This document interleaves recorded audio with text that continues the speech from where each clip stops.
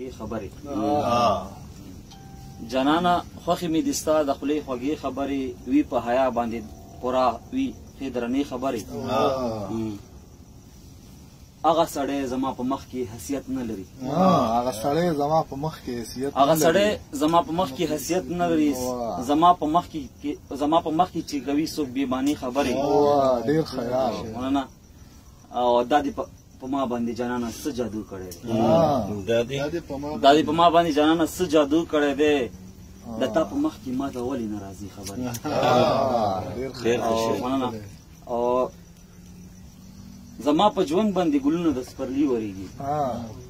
زما په ژوند باندې ګلونه د سپرلی وریږي چې زه دې اورم خوږي خوږي ادي خبرې ډېر ښه شعر ده مننه زما په ژوند باندې ګلونه د سپرلي وریږي چې زه دې اورم چې زه دې چې زه دې اورم خوږي خوږي ادي خبرې او مننه اخر مکتاز او شعر دا شعر بیا وای مصطفی زما په ژوند باندې ګلونه د سپرلی وریږي زما په ژوند باندې ګلونه د سپرلی وریږي چې زه دې اورم خوږي خوږي ادي خبرې مننه او زما د زړه مصطفی تنها سسیږي ویني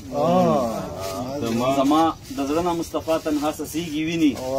چې سو کوي د بی وفا جنان خبر ډیر ډیر ډیر ډیر ډیر ډیر ډیر ډیر ډیر